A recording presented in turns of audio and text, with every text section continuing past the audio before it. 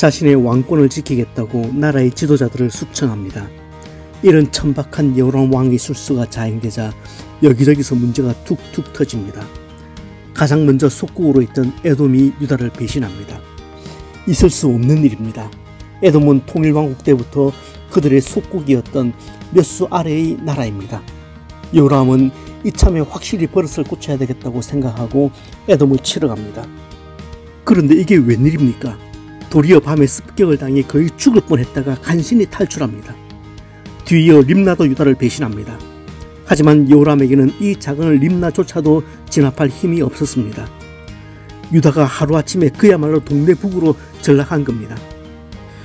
그런데 이 일들은 에돔과 림나가 갑자기 없던 국력이 생겨서 발생한 문제가 아닙니다. 요람이 하나님을 버리자 하나님의 주변의 가시를 작동시키신 겁니다. 이건 이미 사사기 때부터 계속 반복된 내용입니다. 이스라엘 백성에게는 언제나 가시가 있었습니다. 그런데 하나님을 잘 믿을 때는 이 가시들이 가만히 있습니다. 하지만 신앙생활을 잘 못하면 어김없이 이 가시들이 콕콕 찌르며 일어나기 시작합니다. 우리에게도 이런 가시가 있습니다. 나의 연약한 부분이 가시가 되기도 하지만 때로는 나를 괴롭히고 나에게 횡포를 부리고 나에 관한 엉뚱한 소문을 만들어내는 이런 가시들이 나를 콕콕 찔러댑니다. 그런데 가시들이 자꾸만 나를 찌르기 시작하면 밖이 아니라 우리 자신의 내부도 좀 들여다보아야 합니다. 하나님과의 관계에 문제는 없는지, 내 마음이 주님을 떠나 있는 것은 아닌지, 내가 두 주인을 섬기고 있는 것은 아닌지 살펴야 합니다. 가시는 영적으로 잠들어 있는 우리 자신을 깨우는 하나님의 방편이기도 하거든요. 사실 가시가 없었으면 좋겠습니다. 그런데 여러분, 가시가 없으면 신앙생활 잘 하실 것 같습니까? 마음은 그럴 것 같은데 실상은 꼭 그렇지 않다는 것을 우리는 경험적으로 너무 잘 알고 있습니다. 가시가 있어서 그것 때문에 긴장하고 안타까워합니다. 그 가시 때문에 하나님 앞에서 눈물 콧물 쏟으면서 매달리기도 합니다. 가시 때문에 깊어집니다. 가시 때문에 실력 있는 사람이 되는 겁니다. 그래서 가시는 은혜의 방편이 됩니다. 상황이 이렇게 몰리면 무엇이 잘못되었는지 자신을 돌아보고 정신을 좀 차릴 법도 한데 요람은 한 발자국도 물러서지 않습니다. 인생은 딱 두 종류라면서요.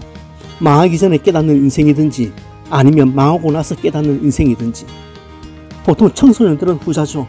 부모가 아무리 얘기해도 그때는 알아듣지 못해요. 그러다 한번 된통 당하고 나면 부모 말이 무슨 의미인지 알게 됩니다. 때문에 크고 작은 징조가 보이면 자신이 걸어온 삶을 돌아보는 것이 영적 민감성이고 깨닫는 것이 은혜입니다. 하지만 여호람은 여전히 회개하지 않습니다. 결국 하나님은 엘리야를 통해서 심판의 메시지를 전합니다. 그런데 그 메시지를 보시면 하나님께서 여호람의 악행들을 속속들이 파악하고 계셨음을 알 수 있습니다.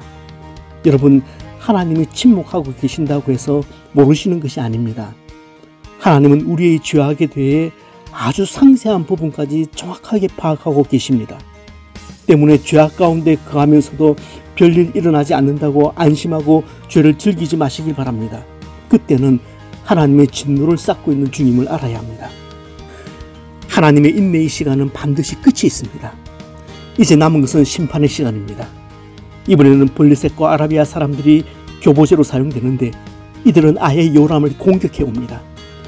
불과 얼마 전까지 유다에 따박따박 조공을 바치던 나라들이었습니다. 그런데 상황이 이렇게 역전되는 겁니다. 결국 이 공격으로 요람은 그의 모든 가축과 재산을 잃게 됩니다. 요람을 향한 하나님의 심판은 여기서 그치지 않습니다.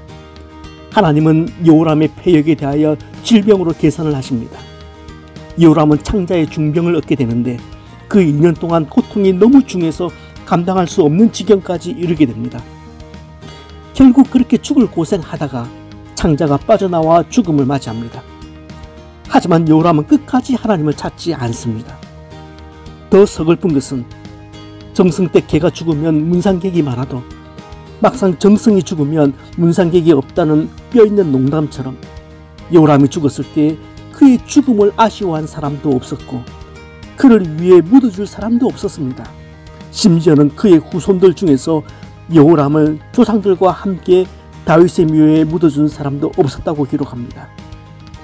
하나님이 한 번 몰아붙이시기로 마음을 먹으시면 우리가 정신을 차리지 못할 정도로 콘으로 몰아가십니다. 잊지 마시길 바랍니다. 애누리 없이 경외함으로 받아야 할 말씀입니다.